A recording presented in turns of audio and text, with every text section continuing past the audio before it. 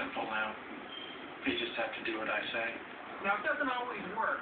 The Superman movie a few years ago from Warner Brothers, the Hulk movie, it didn't quite take off. But something tells me this year, Hollywood isn't going to have that problem. Tom Pat will be back next week with more previews and commentary ah.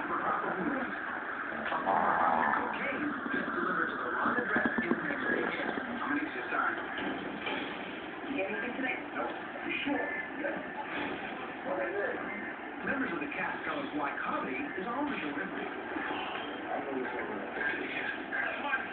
The story is a touching comedy about package. Uh.